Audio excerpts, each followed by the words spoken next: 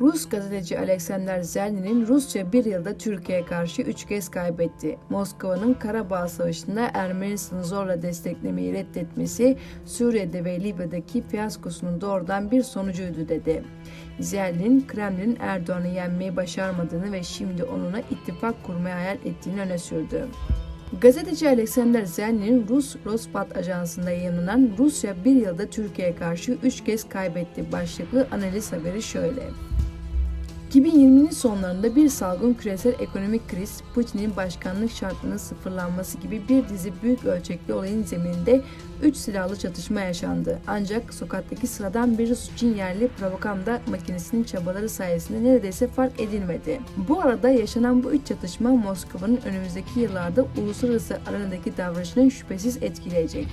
Her şeyden önce Şubat ayındaki fiili Rus-Türk Savaşı'ndan bahsediyoruz. Geçen yıl Mart başı İdlib'de Mayıs ayında uluslararası kabul görmüş Ulusal Mutabakat Hükümeti ile İsyancı Mareşal Halife Hafter'in Libya Ulusal Ordusu askerleri arasında Libya'da çatışmalar ve Azerbaycan ile Ermenistan arasındaki Eylül-Kasım 2020 Karabağ Savaşı.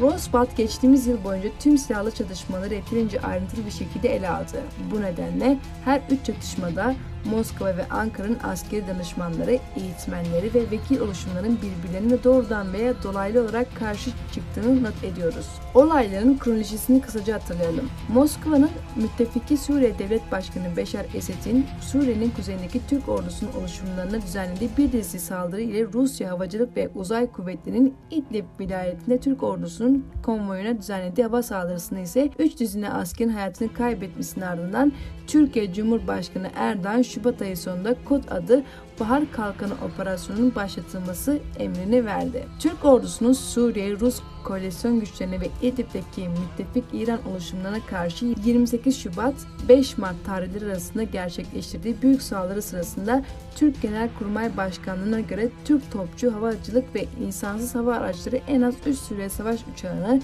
8 helikopteri, 3 drone'u, 155 tankı, 47 topçu parçasını, 52 çok namlulu füze rampasını, 8 hava savunma sistemini, 12 tank savar silahını, 51 zırhlı araç, 60 asker araç ve 10 cephane depolarını imha etti.